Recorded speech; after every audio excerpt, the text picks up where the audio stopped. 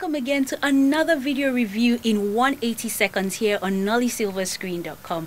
My name is Isabella Akinseye and I'll be dishing out on the good, the bad and the ugly of Flower Girl. Flower Girl is a romantic comedy directed by Michelle Bello. It stars the likes of Eku Edewor, Damilola Adegbite, Chris Attoh, Bikiya Graham Douglas, Patrick Doyle, Blossom Chuks Chukwujekwu, and a whole host of others. And what is this movie about?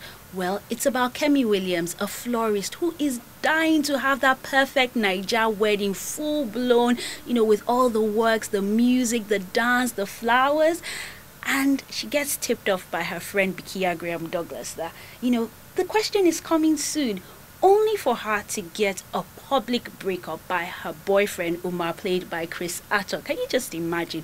And you know, the film follows her trying to mend her heart, win him back, and she has Tunde Kulani, played by Blossom Chuks to help her. So, what's good about this movie? For one, we have good chemistry. The leads just gel. I mean, they're meant for each other. You know, Chukwujekwu with Adegbite, the hot couple. I mean, it's just natural. I mean, there's this scene which stands out. It's a palm tree silhouette against a sunset. Just beautiful. I mean, who knew Lagos was this beautiful? And then again, we also have the flow of scenes. The directing is on point. I mean, it's that romantic comedy that you want. Unfortunately for the bad, we have a narrow music selection. I mean, at a point you feel that it's just Chudi K and Links that are just playing on and on and on. One would have expected, you know, a much wider variety. And then the casting, I mean, Blossom Chuks Chukwujekwu's father was looking more like his Egbon, like his senior brother.